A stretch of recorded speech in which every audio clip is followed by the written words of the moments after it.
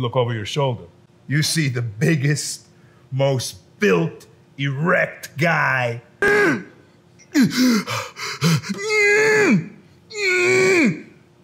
Are you okay?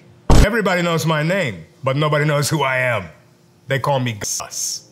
Oh my goodness! Is that Gus? Okay. Yeah, it's me. I can only be me. No, no. I mean, you're Gus. Okay. I'm Giancarlo. No, you're Gus. Okay. Hey, could you be Gus for me? Okay. Hey, could you Gus for me? Okay. I will do anything for my fans. However, I'm sorry. I refuse to be Gus Fring today. Hello. I'm Gustavo Fring. And I also have pee.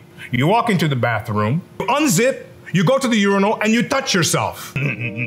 this is very good for my back. You unzip, you go to the urinal, and you pee to prevent personal self-inflicted touch yourself. You see the biggest, most built, erect guy. You unzip, relieve yourself. Wash your hands thoroughly so that you don't spread your infected germs to everyone else.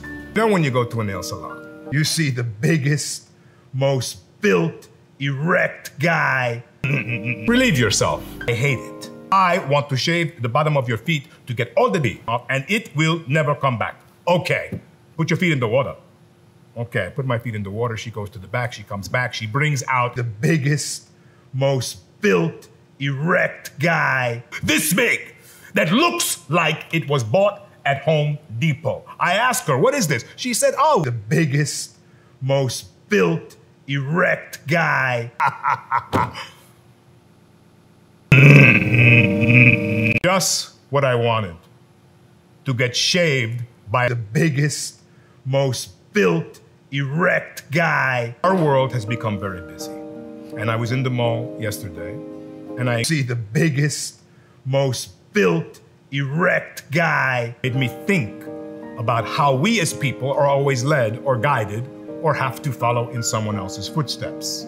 he looks like he knows where he is going. Very relaxed, very good stride. I get behind him. Ah! It was perfection. Then, as a human being, we get a chance to do our other business like multitask on the phone because I can feel him moving and I can track his body until you touch yourself with hands that are unclean. And he stops. Excuse me, I'm very sorry. I realize you must know where you're going. You must take steps to get there. And you must never touch yourself with others. Mm-hmm.